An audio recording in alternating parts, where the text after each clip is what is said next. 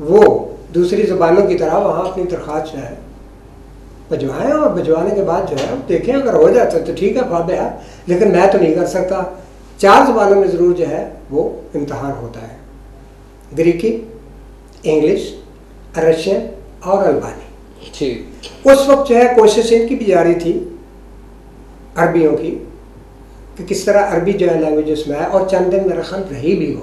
ठीक लेकिन उसके बाद जो है वो ख़त्म कर दी गई उस वहाँ से तो इसमें मुझे कोई ऐसा माहौल जो है जो वहाँ का वो नहीं मिला जो जो मैं चाहता कि भाई वो बड़ा अच्छा काम ज़्यादा हो रहा है ये और लोग जो है जो सीख जाएँगे।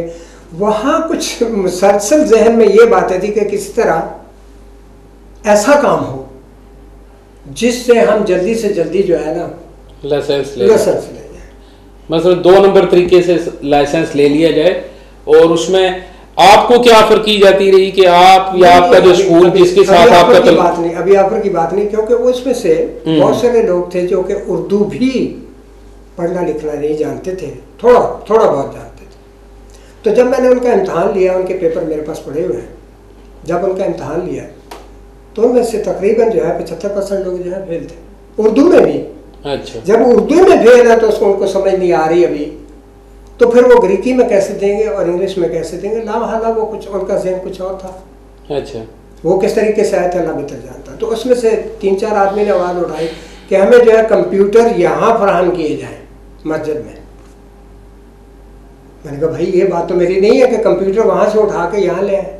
ठीक। अगर आपको किसी और जगह स्कूल जाना है तो जाएँ। अगर वहाँ आपने दाखिला ले लिया है, तो वहीं से आप कंप्लीट करें। इन्होंने तीन किस्तें वहाँ से उन्होंने उनको कहा कि हम चूँकि पैसे हमारे पास नहीं होते तो तीन किस्तें जो है वो चलेंगी। पहली किस्त तीन सौ हम देंगे और तीन सौ में कंप्यूटर जो है वो बराबर हम सीखेंगे एक महीना। फ़ी घंटा जो है दस एवरो वो लेते थे स्कूल वाले। उस वक्त तो रेट सबका यही है। मोटरसाइकिल और कार ये फुल जो था साढ़े बारह सौ था। ठीक। तो मैंने कहा पचास और छोड़ो। भाई ये अब आपके पास आ रहे हैं तो बारह सौ में कोर्स कराओ इनको। ठीक। तीन सौ पहले देंगे पाराबोला जब ला के देंगे आपको तीन सौ देंगे जमा कराएँगे आपके पास। ठीक। और आपको जो है ट्रेनिंग देनी है कंप्यूटर में। तो फिर ये कहने लगे जी कंप्यूटर हमारे घरों में लाए। मैंने कहा ये नहीं हो सकता वहाँ जाए। तो वहाँ दस दस आदमी जब वो कह रहा कि चार आदमी आए या पाँच आए दस दस पहुँच गए। क्योंकि उनको ज़रूरत थी जल्दी अब कामों से आते हैं एक महीना उनका गुजर गया था। दस दस मतलब टोटल कितने लोग थे ऐसे? उस वक्त लोग जो थे वो दस तीन तेरह और दो पंद्रह अच्छा पंद्रह टोटल लोग थे। पंद्रह लोग थे टोटल अच्छा। तो वो जनाब जाते रहे मैंने कहा चार चार पाँच पाँच आओ सुबह आ जाओ और दोपहर को आ जाओ कुछ शाम को आ जाओ। जिनकी रात की ड्यूटी है ठीक है ये था उनका एक शेड्यूल जो उस वक्त नहीं बन रहा था अच्छे तरीके से मैनेज नहीं हो रहा था। ठीक है जी। अभी क्योंकि हमारे पास टाइम बहुत कम होता है इसलिए थोड़ी सी तो शॉर्ट में बात करते हैं। मसला नहीं है। अच्छा। अब अब ये हुआ मसला कि तीन सौ उन्होंने दिया दूसरी के स्वस्त वक्त देनी होती थी मैं आप जल्दी में आपको बता रहा हूँ। दूसरी के स्वस्त वक्त देनी होती थी जबकि वो इम्तहान पास कर लेते थे और गाड़ी की ट्रेनिंग लेनी होती थी ड्राइविंग की। ठीक। ड्राइविंग में पास होते थे तो चार सौ देना था। और जब तीसरा जब डिप्लोमा लेना था तो उस वक्त लास्ट पेमेंट हमें करनी थी पाँच सौ। ये था तरीकाकार जो कि वहाँ अपनाया गया और इस लिहाज से वहाँ पैसे दिए गए। जब पैसे दिए गए तो उसी वक्त जो है एक लड़का तो मेरे सामने पास हुआ, ज़फ़र। मेरे सामने पास हुआ, सो। तो अब मसला ये हुआ कि बीच में जो लोग थे, दो तीन जो ये चाह रहे थे कि भाई हमें कुछ पता नहीं, आपने ये वादा किया, हमें उर्दू में इम्तहान हो गया, हमें नहीं पता। तो इतने में एक टेलीफोन आया है जिस वजह से मुझे पूछना पड़ा। बिल्कुल गायब होना पड़ा क्यों? टेलीफोन क्या आया था ओ टेलीफोन ये था भाई कि आपकी बॉडी जो है वो स्टील की नहीं बनी हुई जिसमें से गोली नहीं गुजर सकती। मसला आपको धमकी दी गई। आप समझे जो को समझ रहे हैं ये टेलीफोन आया और मैंने बताया कि भाई ये टेलीफोन आया है मैं ना रहा उस्ताद और ना रहे आप शागिर्द खुदा हाफिज। अच्छा एक दफ़ा धमकी का एक टेलीफोन आया आपको डराया धमकाया गया उसके बाद आप रूपोश हो गए हैं जी? जी ये थी सारी स्टोरी और उसमें से बंदे जो बता रहे हैं आप उसमें से टोटल पंद्रह का या सोलह का फिगर आप बता रहे हैं। जी। ये न्याय यूनियन के बंदे थे हैं जी। इसके अलावा और कोई ऐसा सिलसिला? ऐसा सिलसिला एक दिन में ऐसा सिलसिला चार घंटे इधर पढ़ाओ तो मेरे पास इतना वक्त नहीं हम्म। मैं किसी और सिलसिला चला सकता। जब इसी पंगे में फंस गया मैं तो आगे मेरे में हिम्मत नहीं थी कि मैं और कुछ कर सकता। ठीक। लिहाजा मैं अपने बच्चों को देखते हुए मासूम बच्चे हैं उनको देखते हुए भाई मैं भागा हूँ। इसके लिए पूरी कौम जो है जो कुछ मुझे सज़ा दे सकती है बल्कि सज़ा मैंने काट ली तीन साल अपने बरदरों से अपने आर्टिस्टों से अपने सिंगरों से अपने अदबी दोस्तों से अपने शायरों से दूर रहा ये मेरे लिए बहुत बड़ी सज़ा लेकिन इतनी बड़ी जो अमाउंट है वो लगातार ये फिगर्स मिलते रहे नब्बे हज़ार साठ हज़ार या डेढ़ लाख यूरो के जो फिगर्स मिलते रहे। कथक में उस- माफ़ इसी बात को ले लेता हूँ। आइए। The day the dam broke the day the dam broke this is the big one rumour in the world and there was the story क्या स्टोरी थी? वो दिन जबकि डैम टूटा ट्रांसलेशन होगी ना? वो दिन जबकि डैम डैम टूटा तो उसकी र्यूमर उसकी अफवाह ये थी कि सारे भाग रहे थे भाग रहे थे भाग रहे थे।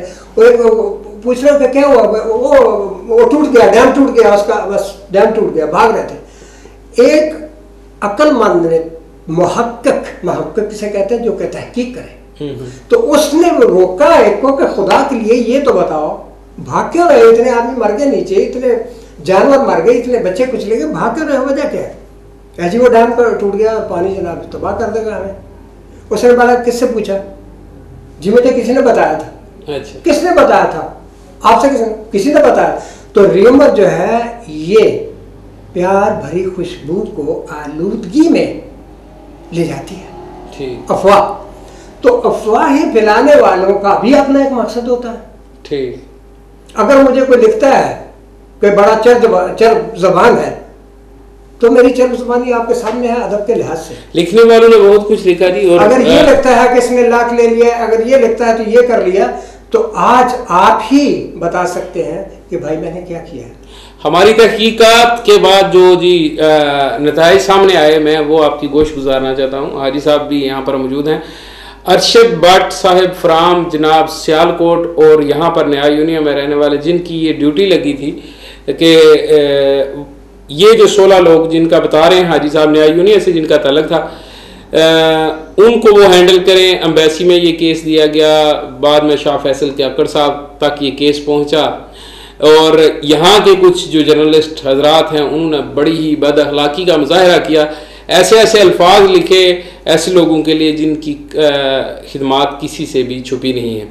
कि गलती सरजद होना या इस किस्म का मसला बन जाना कि उम्र के साथ साथ और जब फैमिलीज़ हो जाती हैं बच्चे हो जाते हैं तो वो पावर वो एनर्जी ख़त्म हो जाती है जो जवानी में होती है या अकेलेपन में होती है।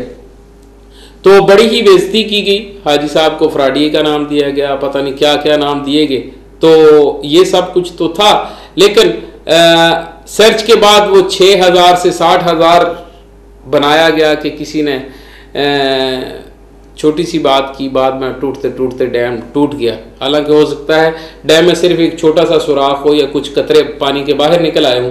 कुछ ऐसा ही हुआ कि जब सर्च हुआ, सारी बातचीत निकली, न्याय यूनिया के जो लोग थे, सोलह लोग, उनका, उनकी जो अमाउंट थी, वो थी फाइव थाउज़ेंड टू हंड्रेड यानी कि बवंजा सौ यूरो जो है, वो हाजी साहब को जनाब उन्होंने दिया हुआ था।